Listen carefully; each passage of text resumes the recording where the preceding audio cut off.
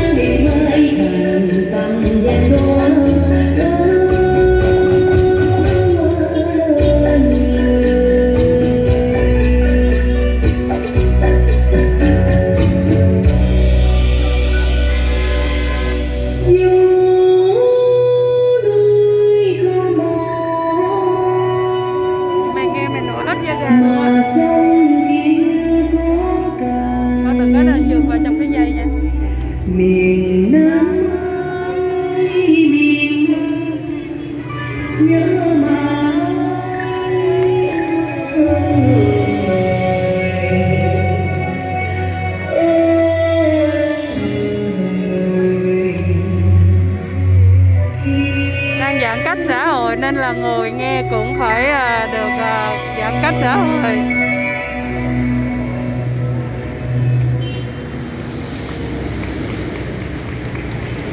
Mọi người cũng mua giãn cách xã hội hết rồi.